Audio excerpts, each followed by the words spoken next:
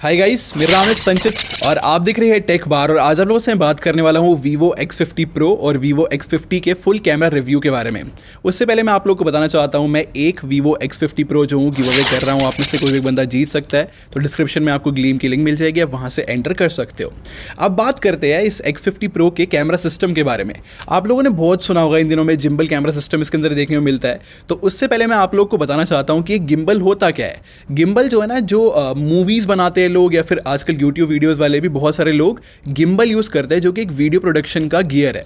जैसे कि मैं आप लोग को दिखाता हूँ, मेरे पास भी है, इसके ऊपर मैं डी रखूँगा और चलूँगा भी ना, तब भी हर टाइम ये स्टेबल रहेगा। एक रोबोटिक एक्शन आप इसको समझ सकते हो कि पूरे टाइम जो एक मोटर है, जो पूरे कैमरे को सीधा रखेगी, चाहे आप कितना भी भागो।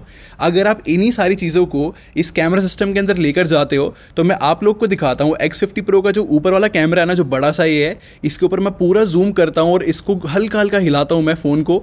आपको दिखेगा कि कैमरा भी थोड़ा थोड़ा हिल रहा है। तो ये है हमारा जिम्बल कैमरा सिस्टम। और ये बहुत ही बड़ी बात है, एक फ़ोन के अंदर, एक मतलब छोटे से कैमरा सेंसर के अंदर एक ऐसा स्टेबलाइजेशन लेकर आ जाना, जो कि कैमरे के टाइम मतलब जब आप इमेज खींचोगे तब भी काम कर रही है। आज से पहले इस कुछ भी ऐसा नहीं आया था। मैं आप लोग को दिखाता हूँ आईफोन 11 प्रो मैक्स इसके साथ में रखता हूँ और दोनों की कैमरा ऐप खोलता हूँ और दोनों को ऐसे ऐसे हल्का हल्का मूव करता हूँ। आपको जो वीवो एक्स फिफ्टी प्रो का कैमरा थोड़ा थोड़ा मूव करते नज़र आएगा और ऐसे आईफोन में नहीं आएगा। तो यहाँ से पता लगता है कि ये बिल्कुल नई टेक्नोलॉजी है और काफ़ी बड़ी बात है। अब आपके मन में क्वेश्चन आना चाहिए कि ये जो जिम्बल कैमरा सिस्टम है, आपके क्या यूज़ का है? तो भाई ये सुपर यूजफुल चीज़ है। मैं आप लोग को लाइव एग्ज़ाम्पल दिखाता हूँ। मैं दोनों कमरे के अंदर पूरा अंधेरा कर देता हूँ और एक हाथ में आईफोन और एक हाथ में वीवो एक्स फिफ्टी प्रो लेता हूँ मैं और मैं जानबूझ के दोनों फ़ोन को हिलाता हूँ। और आप देखना, मैं फ़ोटो शटर पर क्लिक कर दिया है मैंने फ़ोटो खींचने के लिए और मैं आप लोग को अब दोनों फ़ोन की फ़ोटोज़ खोल दिखाता हूँ।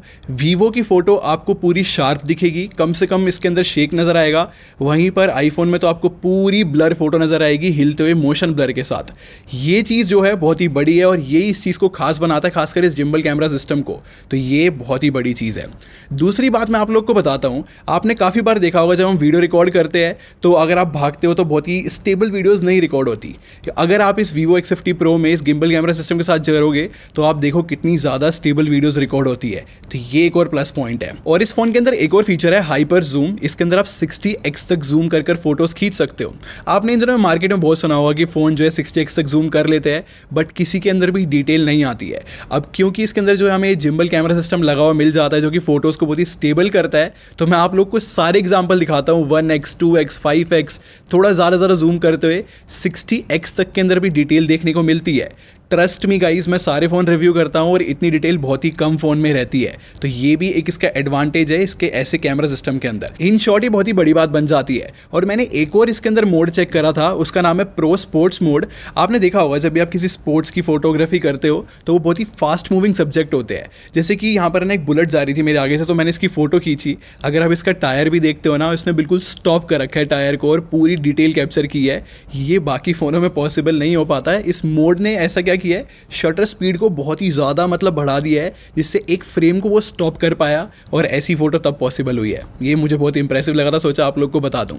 थोड़ा सा कैमरा सिस्टम के बारे में बात करते हैं। जो एक्स फिफ्टी प्रो है ना, इसके अंदर हमें एक फोर्टीन मेगा का मेन कैमरा देखने को मिल जाता है। I M X five nine eight है, जो कि कस्टमाइज सेंसर है। कस्टमाइज यहाँ पर लगा लो कि जो लाइट को लेकर बहुत ज़्यादा सेंसिटिव है ये। मतलब लो लाइट बहुत अच्छी कैप्चर करेगा। एक और हमें कैमरा देखने को मिल जाता है एट मेगा का, जो कि सुपर वाइड एंगल है। आप अल्ट्रा वाइड एंगल फ़ोटोज़ खींच सकते हो। एक और हमें देखने को मिल जाता है थर्टीन मेगापिक्सल का बोके कैमरा और एक और नीचे की तरफ़ जो हमें आठ मेगापिक्सल का टेलीस्कोपिक लेंस देखने को मिल जाता है, जो कि आपको जूमिंग कैपेबिलिटीज देता है। ऐसी जो वीवो एक्स फिफ्टी है ना, इसके अंदर जो छोटे वाला नीचे कैमरा है स्क्वायर वाला, ये पाँच मेगापिक्सल का मैक्रो है नहीं तो बाकी चीज़ें जो है वही मेगापिक्सल सेम है। और कैमरा ऐप की बात करूँ तो उसके अंदर तो दुनिया भर के फीचर्स देखने को मिल जाते हैं। एक तो मैंने नोटिस किया था कि आई फोकस की पूरी एनिमेशन आती है, बड़ी सही लगता है एनिमेशन को चेंज भी कर सकते हो। और ऐसी है ना, अब हम लाइव फ़ोटोज़ भी खींच सकते हैं। जैसे कि मैंने फ़ोटो खींची और गैलरी में अगर मैं जाता हूँ तो लाइव फ़ोटो कैप्चर हो जाती है। ये भी अच्छे फीचर है। अब आप लोग को मैं कैमरा सैंपल दिखाता हूँ। ये सबसे पहली फ़ोटो जो है डायनेमिक रेंज टेस्ट करने के लिए खींची थी। अब मैं जहाँ पर खड़ा होना यहाँ पर बिल्कुल भी लाइट नहीं थी और जो बैकग्राउंड है ना, वो पूरा डे लाइट वाली सिचुएशन थी। अब यहाँ पर इसने काम बहुत अच्छा किया है क्योंकि यहाँ पर स्किन टोन को बिल्कुल सही तरीके से ब्राइट रखा है और बैकग्राउंड के अंदर भी मैं डिटेल देख पा रहा हूँ। इसी को और फर्दर टेस्ट करने के लिए मैंने ऐसी एक बिल्डिंग की फ़ोटो खींची है सन के अगेंस्ट इसने सन को बहुत अच्छे से एक्सपोज किया है और साथ के साथ जो डिश लगी हुई है ना, मैं इस पर जूम कर आप लोग को दिखाता हूँ। यहाँ पर आपको एयरटेल लिखा हुआ भी दिख जाएगा। तो यहाँ से क्लियर हो जाता है कि डायनेमिक रेंज अच्छी है। अब सेकंड फ़ोटो मैंने डिटेल टेस्ट करने के लिए खींची थी, ये मेरे पूरे अपार्टमेंट की है। अब यहाँ पर मज़ेदार बात यह है कि हर एक फ्लोर की डिटेल में देख सकता हूँ। और ऐसी आर्टिफिशियल की भी आप लोग को दिखाऊँ, यहाँ पर भी जो है बहुत सारी डिटेल हमें देखने को मिल जाती है। अब नेक्स्ट फ़ोटो जो है पोर्ट्रेट शॉट है। अब ये मैंने आर्टिफिशियल लाइटिंग कंडीशन में खींचा है, बिल्कुल स्टूडियो लाइट के अंदर। आप देख सकते हो, पीछे जो है एजोडेक्शन बिल्कुल इसने ठीक रखी है। अच्छा खासा ब्लर भी है, हम ब्लर को कम ज़्यादा भी कर सकते हैं फ़ोटोज़ खींचते समय और बाद में भी आप कम ज़्यादा कर सकते हो पोस्ट प्रोसेसिंग के अंदर। अब मुझे यहाँ पर स्किन टोन ही बहुत ज़्यादा पसंद आई है और स्किन के ऊपर इनफ डिटेल भी मेंटेन करके रखी है। सिमिलरली मैं डे के बारे में बोलना चाहूँगा। यहाँ पर भी जो है इसने एजोडेक्शन बिल्कुल ठीक रखी है, जब तक आप बहुत ज़्यादा ब्लर नहीं बढ़ा देते और जैसे ही हम बहुत ज़्यादा ब्लर बढ़ाते हैं तो मैंने इसकी थोड़ी बहुत एजोडेक्शन फेल होते हुए देखा है। तो ये भी चीज़ ध्यान देने वाली नहीं तो नाइन्टी परसेंट जो है इसका बिल्कुल ठीक ही रहती है। अब नेक्स्ट फ़ोटो जो है मैंने सुपर वाइड एंगल लेंस से खींची है और भाई मैं सीरियसली इंप्रेस हुआ हूँ। एक इसकी डायनेमिक रेंज मुझे टू गुड लगी। और एक्सपोजर कितना कमाल का इसने यार रिकॉर्ड किया है। मैं बहुत हैरान हो रखा हूँ। पेड़ की तरफ़ देखो बिल्कुल कॉर्नर्स ने एक तो खासकर कर्व फ़ोटो आ जाती है ना, जब हम अल्ट्रा वाइड एंगल लेंस से खींचते हैं तो कर्व तो नहीं है। फ़ोटो बहुत अच्छे से डिस्टोर्शन खत्म की हुई है। और साथ के साथ, चाहे आप नीचे ज़मीन देखो बिल्डिंग देखो, पेड़ देखो, बहुत अच्छे से वेल एक्सपोज है। और ना, इसके अंदर जो है फिल्टर्स भी देखने को मिलते हैं। गोल्डन ब्लैक था आई थिंक उसका नाम। हमने बहुत ही इंटरेस्टिंग इंटरेस्टिंग फ़ोटोज़ खींची है। ये दो फ़ोटो मैं आप लोग को दिखाता हूँ।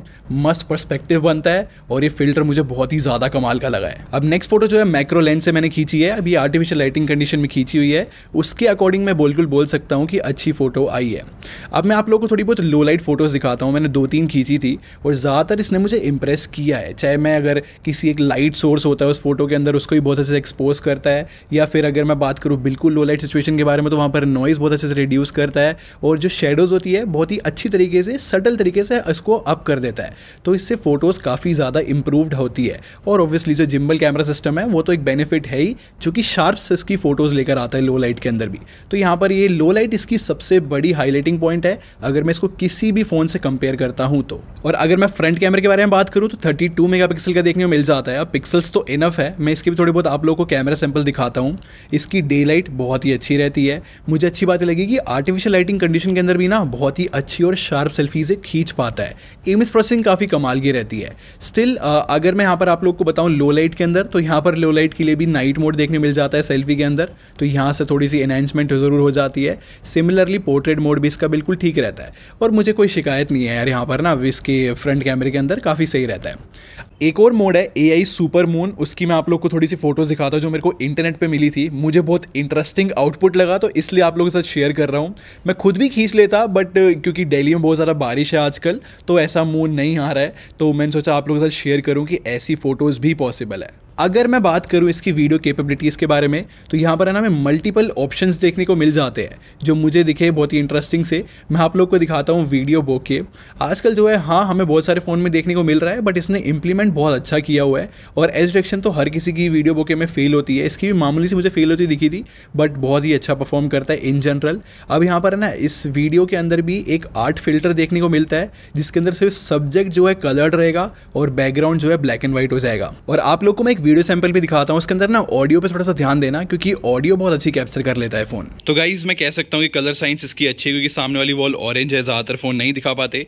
और स्टेबलाइजेशन भी मुझे इसकी बिल्कुल ठीक लगी है काफ़ी स्टेबल वीडियोज़ रिकॉर्ड कर लेता है तो ओवरऑल बिल्कुल ठीक रहता है। वीडियो के अंदर और भी बहुत सारे फीचर्स है जैसे कि स्मार्ट जूम जो कि ऑटोमेटिकली फ्रेम डिसाइड करता है। ऑडियो जूमिंग भी है अगर आप जूम करते हो फ़ोटो के अंदर जो कि सामने सब्जेक्ट अगर कुछ बोल रहा है तो उसकी ऑडियो को इनहेंस कर देता है। ऐसे बहुत सारे फीचर्स है। तो मेरे को लगा कि आप लोगों से मैं पूरा शेयर करूँ? मेरे को बताना कि आप लोग को कौन सा फीचर ज़्यादा पसंद आया है? मुझे तो फ़ोन बहुत ही इंटरेस्टिंग लगा और मैं कह सकता हूँ कि आ, मेरे हिसाब से बेस्ट कैमरा फ़ोन है अभी के लिए फ़िलहाल ये खासकर फीचर्स के अंदर या फिर ओवरऑल जो इमेज प्रोसेसिंग है और जो इसके अंदर जिम्बल कैमरा सिस्टम डाल दिया है ये तो इसको बिल्कुल नेक्स्ट लेवल ले जाता है। तो भाई मेरी पूरी रिकमेंडेशन है इसको। अगर आप कैमरे के लिए फ़ोन ढूंढ रहे हो तो इसकी तरफ़ आप ज़रूर देख सकते हो।